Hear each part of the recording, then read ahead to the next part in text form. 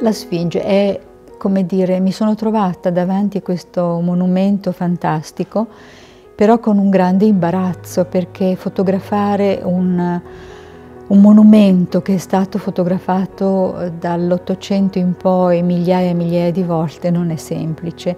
Non è semplice trovare il proprio punto di vista, eh, raccontare anche eh, le emozioni personali che un luogo suscita.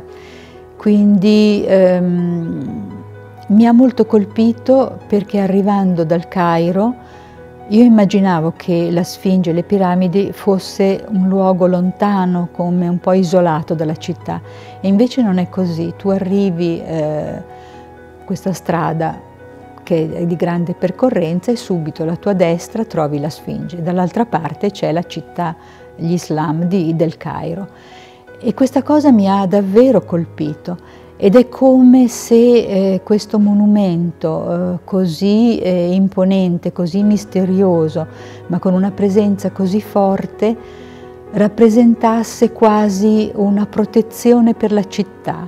Eh, la Sfinge guarda la città ed è come se ehm, la tenesse sotto controllo, la proteggesse, le volesse bene.